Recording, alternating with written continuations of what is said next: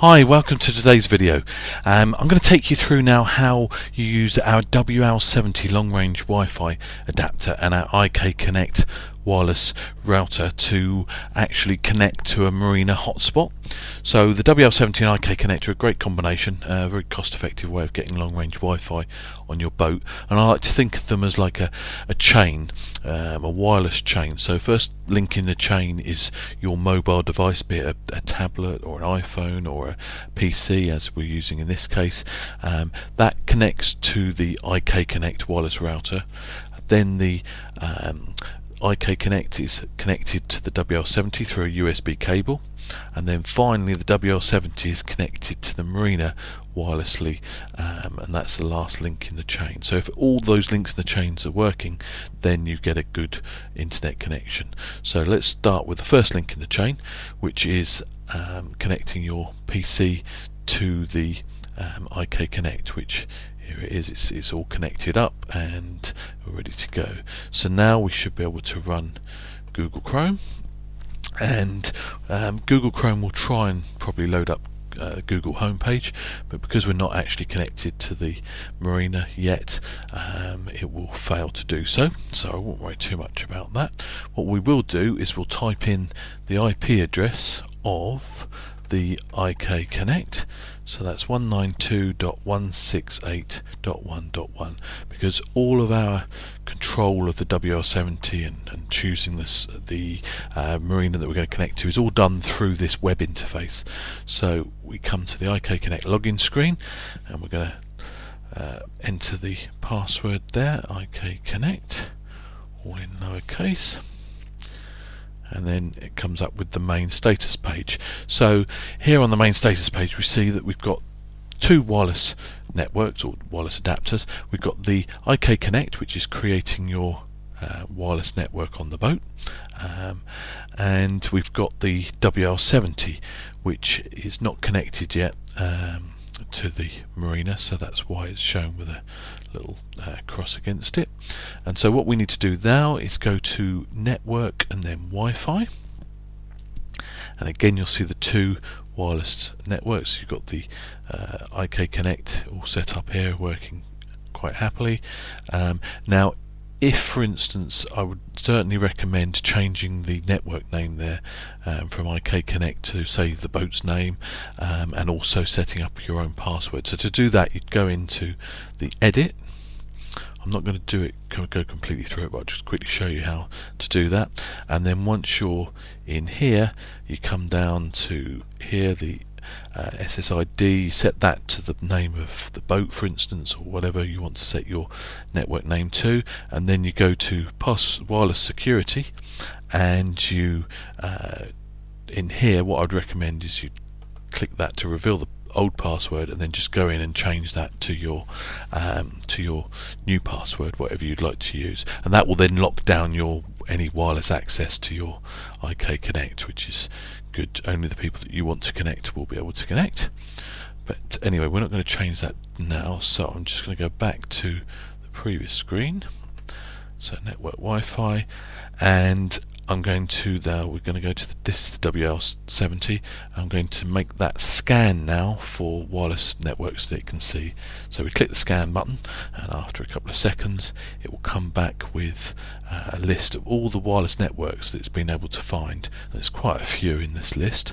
Um, the one that we're interested in is one that I've set up here. I've just set up a fake marina um, network here called a marina um, now this, there are two types of networks as you can see here. There's networks that are protected with a password, a wireless um, password protected. So that's typically home uh, office networks, um, quite often uh, coffee shops and uh, uh restaurants will have a, a wireless uh, network that's protected with a with a wireless password. And then you'll see other ones which are open which appear to have no password and, and in fact don't have a password but what they are they're, they're called captive portal um, sites or hotspots. And what happens is you can connect to it really easily without having to enter any sort of password.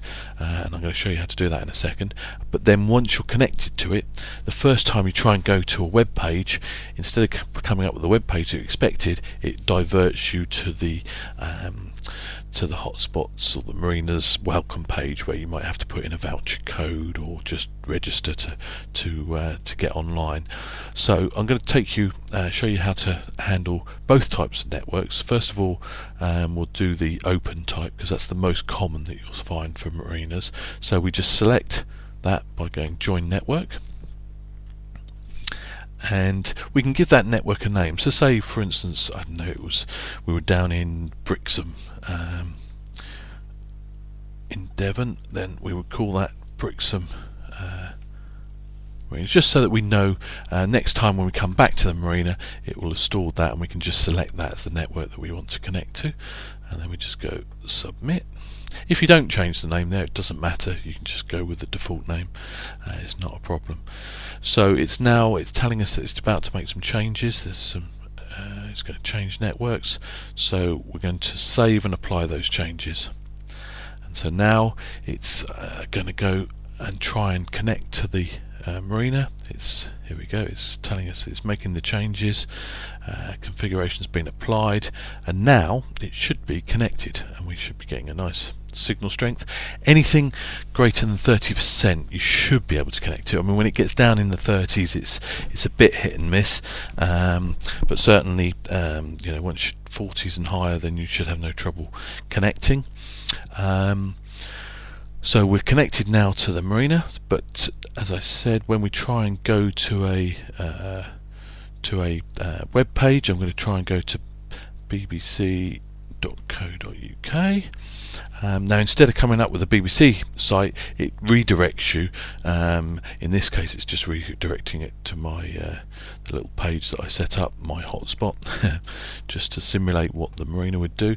And then at the bottom of here, I just have got an accept or decline button. But typically on a marina, you might have to enter a voucher or put in your berth number or whatever the uh, conditions are. So I'm going to click on I accept and now we should be connected to the internet. Um, and that's how captive portal um, type hotspots operate. So now we should be able to go to Google. And there we go we're getting yeah, there we go. We're online and uh, ready to do it. So that's how you connect to a uh, captive portal type network. I'm just going to now quickly show you how to. So let's go back to the other tab, the iKConnect. I'm going to show you how to connect to uh, a normal, a more, you know, sort of more like you'd have at home or in an office, um, a, a password protected. So we're going to do the scan again.